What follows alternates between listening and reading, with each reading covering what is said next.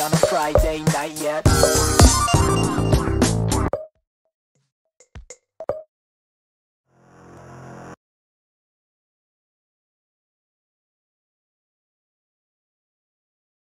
Three, two, one, go!